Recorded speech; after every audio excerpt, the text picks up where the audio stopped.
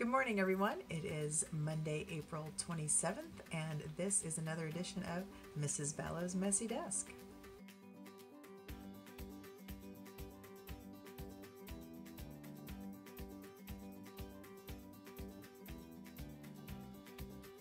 This week, we are going to be exploring something that I find absolutely hilarious, both as an art teacher and as someone who has lots of time to spend scrolling things on Instagram or on Facebook. Actually, I don't have a lot of time to do that. However, when I do get a few minutes to kind of zone out and explore the infinite scroll, I do search the hashtag Getty Museum Challenge. The Getty Museum is an art and culture museum in Los Angeles, California. Their challenge was to take an image from their collection and recreate it using only three objects from your house a pet, a piece of paper, a hat, a vacuum cleaner. You could use anything. Uh, a lot of folks arose to the occasion, and then some couldn't be contained with just three objects. Take a look at some of the ones that I've found on the internet.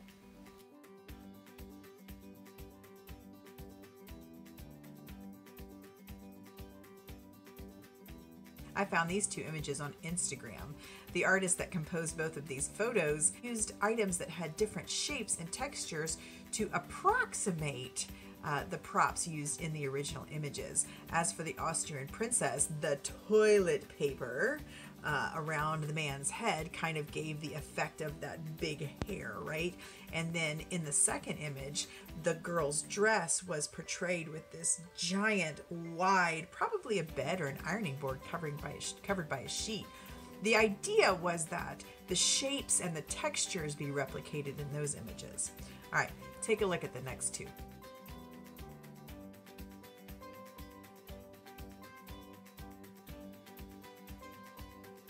The artist that recreated those works of art did a great job of capturing the color and the spirit of the images. You'll notice in these two pictures, as in the two pictures before, that the subject of the recreations was not exactly the same as the original artwork. In the two pictures before, a man portrayed both uh, the Austrian princess and the young girl. And in these two photos that I just showed you, uh, animals that were in the original works of art are represented by, I believe, the artist's children, perhaps. So the point of this being that you just need to capture the colors, the textures, the patterns, uh, and the objects in the frames and not necessarily represent them exactly the way they were in the original pieces of art. All right, let's take a look at a few more.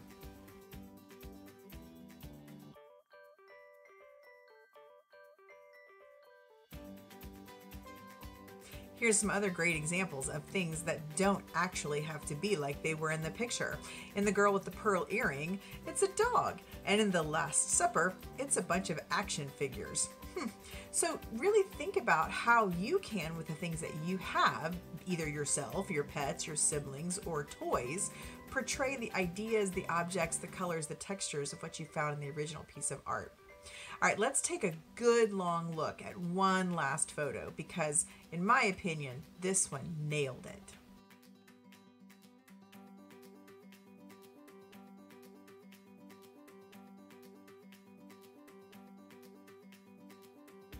Did you notice how similar those images were? Right down to the number of photographs on the artist's easel. Amazing. Let's put on our art historian hats and we will talk about what you need to think about when you compose these images. Do you like my art historian hat? Um, actually, it's the same hat from last week, and it'll probably be the hat that I wear for the rest of my life because it's a cheeseburger, and why not?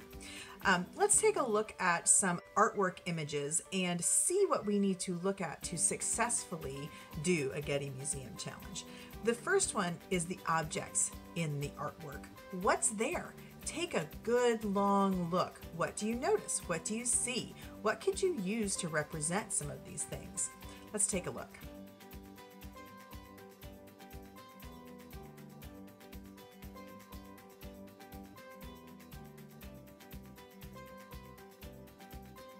Now that we've thought about the objects in the artwork, what about the colors?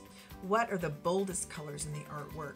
Are there any bold colors? Or is it all one wash of one same color? Um, do you have items that are those colors or could be substituted for those items? Let's take a look at a picture that has some very strong colors.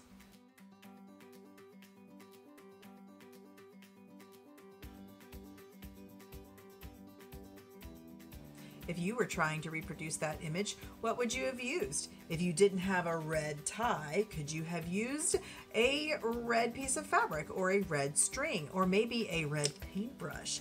Anything that would have been the same color would have worked. Okay, next we need to look at pattern. What patterns appear in the painting or in the artwork?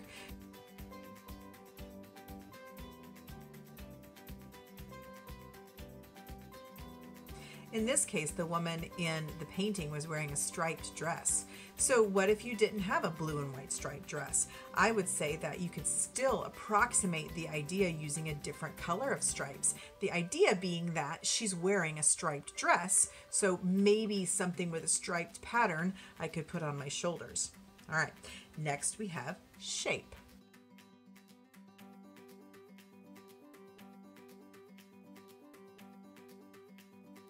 I chose a pretty easy example of shape. Did you notice all of the circles?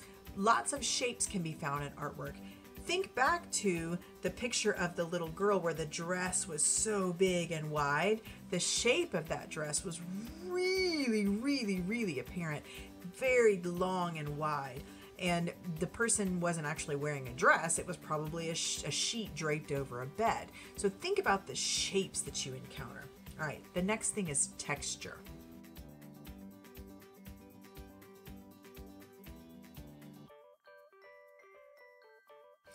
Texture is a tough one, isn't it? And I chose a tough example. In some other examples, you could have seen perhaps someone wearing a fur hat or a dog with fur. That would be an easy thing to think about texture. But in that last example, there were no animals or people in the picture. It was just a landscape. So how could you recreate that with things that you have at home? Do you have laundry that you could have piled up and arranged or fabric? Or maybe things were square and you could have used Legos. Think outside the human and the pet to compose your photos. Are things bumpy? Are things smooth? Are things furry? Are things rocky? Take a look and see what you think. All right, we're done. Now let's get on to the challenge instructions. Your challenge this week is to recreate an image that you find either in the documents that I attached to the email if you're a Shady Oak Artling, or by going on an internet search. There are many, many, many places to find art online. I suggest um, perhaps Norman Rockwell. His images are full of children and families and funny um, scenes that you could recreate pretty easily. Um, there are also classics things like Egyptian statues, Greek statues. Um, you could go look for some crazy surrealist stuff or maybe some impressionist artwork. Go nuts! All right, if you've got all you need, get out of here. Go goodbye. Stage your images. If you'd like a little bit more direction on what to do and how to set things up, maybe how to figure out how to substitute items, keep watching the video and we'll set up a few of them for you.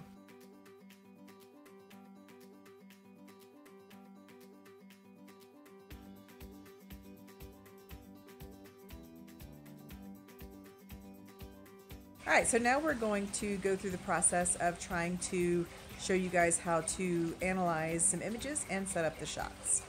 The first one we're going to try to do is this painting right here, which is a penitent Saint Mary Magdalene made by Titian in 1560 to 1565. And so what we want to notice about the picture is what's in it. So there's a central figure and she has a book, it looks like, with, yes, that is a skull right there. I don't have one of those. Uh, there's also a vase, it looks like, somewhere on the table. And she is looking up, kind of either wistfully or kind of she's not having it today. I don't know. But she has on some blonde hair around her shoulders and then like a white drapey dress and then a stripedy thing on her. So, and then the background is, looks like it's in the uh, outside and then some sort of cave-like something or other. We'll see what we can do. So here are some things that we might be able to use. I don't have a skull, but I have this round roll of white toilet paper that might could work. And then I've got this giant stack of ugh, really boring textbooks. Yuck.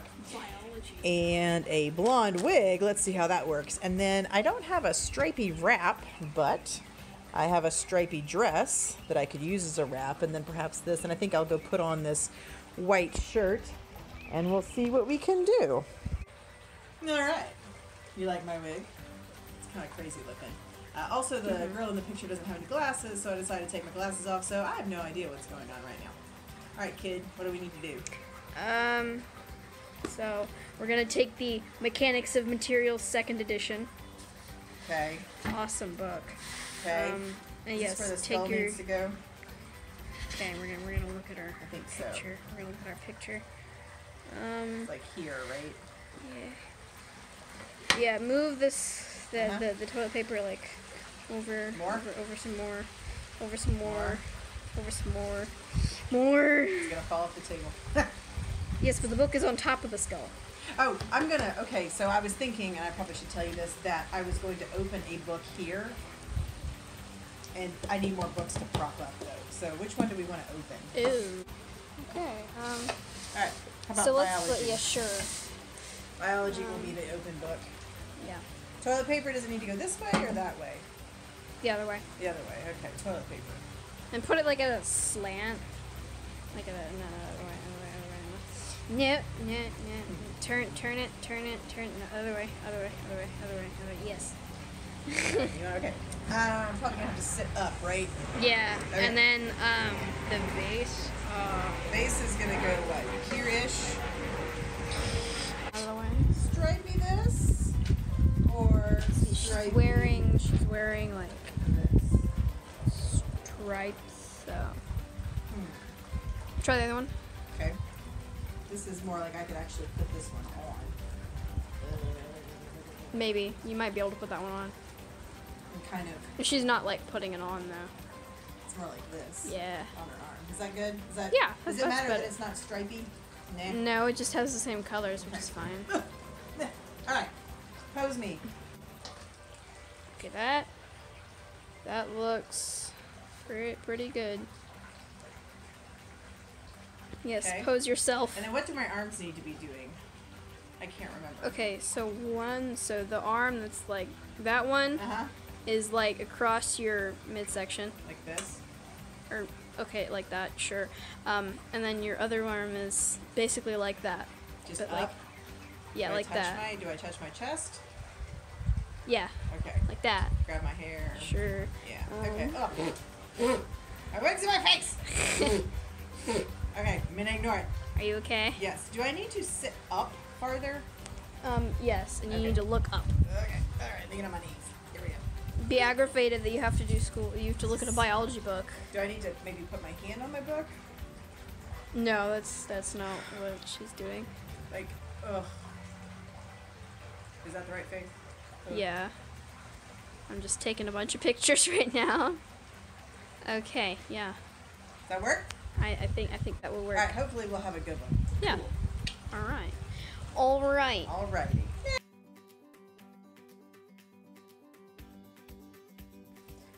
Okay, next up for your enjoyment is a painting entitled Nativity, and it's a detail from one of the panels by Matthias Grünewald, and it doesn't say when this was done. I'll go look in a minute. But we have a central female figure um, with a it was with the Christ child with a baby, and the central female figure has some blonde hair that's kind of long. She has on a cloak. It looks like with a really pretty gold um, cloak tie thingy. She has on a red shirt, uh, red robe, perhaps. Looks like she's also got a black or a dark shirt underneath it. Uh, we'll figure that out. And then she is holding this baby in a white drapey cloth, and she might be outside. She's got a halo on. I don't know if we're gonna be able to do that, but uh, the baby is also holding what looks like a rosary. Um, we don't have a baby in our house, but we've got a good idea. Okay, so here's Mrs. Ballow's kid. She has this lovely cloak that is part of a Halloween costume that we're going to use to do that. She's also got on a red t-shirt and her hair is down even though it's not quite the right color, which is okay. Um, this lovely fuzzy blanket is going to be what we are going to hold the baby in and the baby is going to be our kitty cat. That should be fun. Okay, do you remember how to do your head? Um, Let's practice. Okay, right arm way up. okay. Okay. All right. So you remember you you tilt your head to the side. Really dumb. Really dumb. Yep. Now turn slightly. Right. Perfect. Yes. But you have to kind of look like you love him. Oh, so cute. Please don't try to break his neck to like that. Like, um, like Oh, I know. It's crazy. All right. You ready? Can you put the cat in the blanket, or do I need to put the cat in the blanket? shall put the All right. Put the cat in the blanket. Come on, kitty.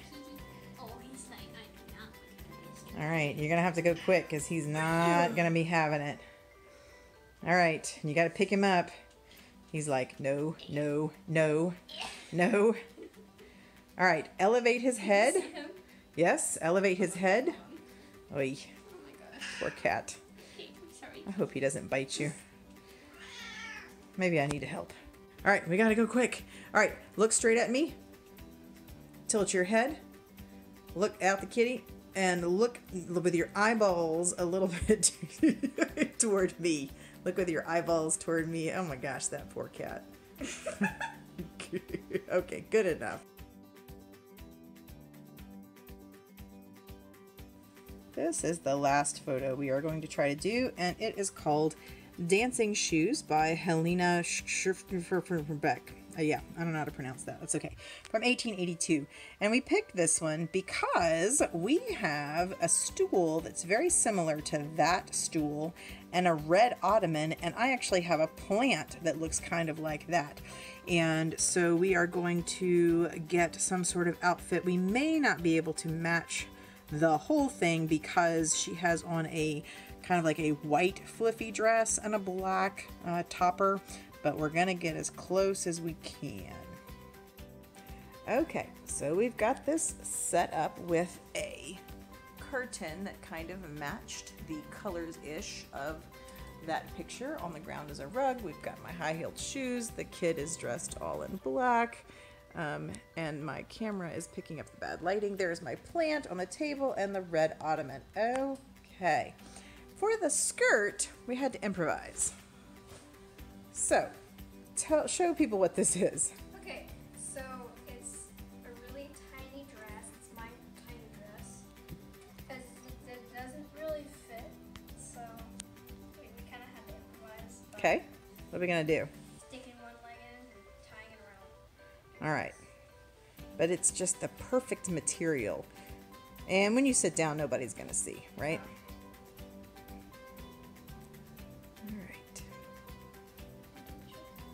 right. yeah, tie it perfect. All right, pull it up. All right, it's going to need to flip over that leg, yes. And I would pull it around your right side just a little bit. You may even sit on it a little bit. Mm, a little less. Sit on it a little less. Yeah, that probably works right there. All right, that's pretty good. Okay, grab your shoe. Get your shoe. And by the way, she's wearing socks and black leggings because we did not have black tights. All right, so you got your foot in the shoe, right? All right. And that's okay. That's okay. It, it looks floofy. It's all good. All right, so extend your leg out just a little bit more. Your shoe leg. Your shoe leg. Yep. Now lean over, both arms. Um, reach. You yes, pull your hair down and let's yeah keep your face. Oh, that's I think pretty good. Except I can see your back, but that's okay. Can you pull your shirt down a little bit? Yeah. Don't choke yourself. Okay. Let's try that. And so reach down with both arms. Now turn your head slightly my way, but look down at your shoe. That's good right there. Don't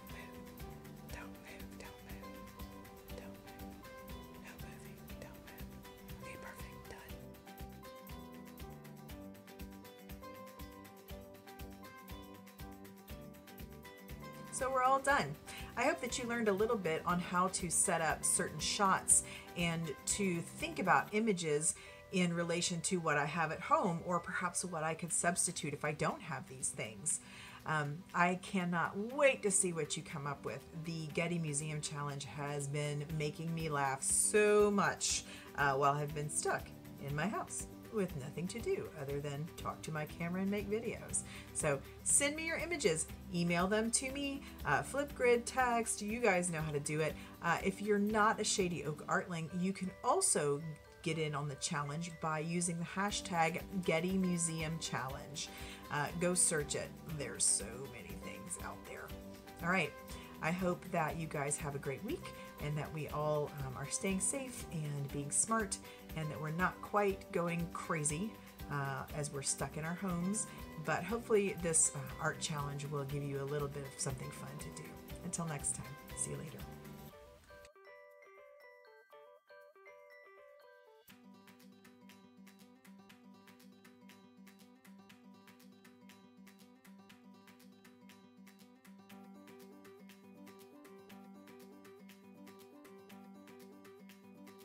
Now, disclaimer don't go looking at art without your parents. For real.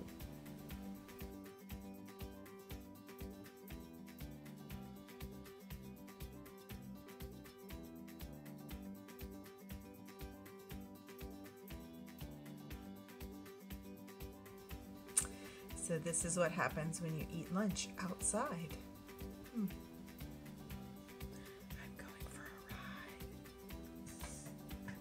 Not really short.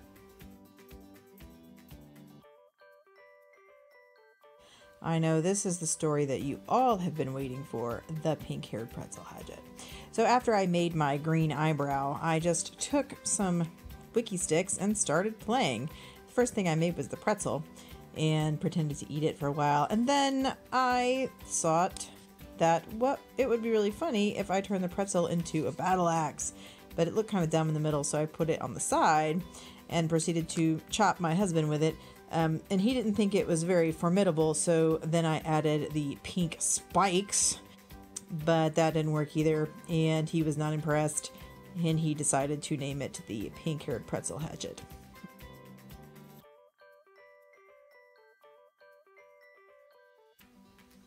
And that's the pink haired pretzel hatchet. Pink hair? Spikes? I don't know. I still think it looks like spikes, but I guess I wasn't the one who named it.